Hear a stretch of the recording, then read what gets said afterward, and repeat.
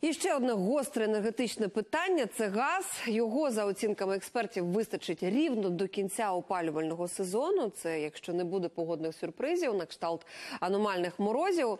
Про брак палива говорять і у Європі. Там ціна на енергетичних біржах встановлює нові і нові рекорди. Не додає оптимізму і скорочення транзиту російського газу нашої ГТС. Тож е, чи готовий до цього її оператор, і чому його витрати постійно зростають? Подробиці в матеріалі. Він потрібен нам завжди.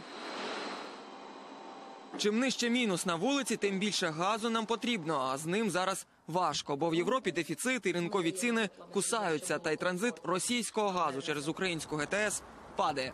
Песимістичні такі настрої, що він і буде далі скорочуватись. Тобто для порівняння ми в минулому році транзитували більше 60 мільярдів кубометрів, 65 мільярдів кубометрів. В цьому році дійсно десь приблизно вийде 42-43 мільярди кубометрів. Чим менше ми газу транзитуємо, тим менше ми отримуємо коштів. Поки Україна залишається при своїх, бо за контрактом між Нафтогазом та Газпромом Росія у будь-якому разі платитиме за прокачку 40 мільярдів кубів. 140 миллиардов кубических метров должно быть либо прокачано, либо оплачено по украинской ГТС. Але прибуток значно зменшується навіть при оплаті зафіксованих об'ємів транзиту. За офіційним звітом оператора ГТС чистий прибуток компанії скоротився у 4 рази. Це за 9 місяців. Торік вдалося заробити майже 21 мільярд гривень, а цьогоріч лише 5. І можна було б очікувати прибутку все-таки на рівні десь в районі 15 мільярдів гривень. Зате вийшло заробити більше для себе, бо за рік видатки на зарплатню зросли на півмільярда. Помимо там роста зарплат на фоне убыточности, еще увеличились операционные затраты, которые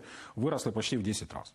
Причем проходя операционные затраты, которые проходили по строчке другой. То есть с полутора миллиардов гривен до 15 миллиардов гривен. Тобто таке враження, що поспішають використати побільше коштів, так направити їх на різні тендери, е, тобто отримати від цього можливо якусь вигоду. До тендерів виникли питання і в Державної аудиторської служби. За результатами висновків компанія переможець не надала всіх документів для участі у відкритих торгах, але все одно перемогла.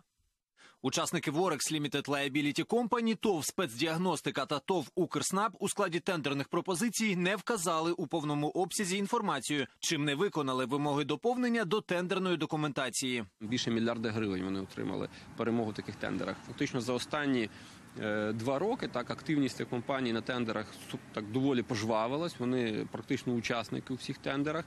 А навіщо їх проводять? Здебільшого, аби відремонтувати чи реконструювати певні ділянки газотранспортної системи. Але чи готовий оператор ГТС до ще більшого скорочення транзиту російського газу? І скільки грошей потрібно, аби оптимізувати українську газотранспортну систему, щоб газ постачався до осель українців у разі зупинки транзиту? Ми відправили запит з цими питаннями і чекаємо на відповідь.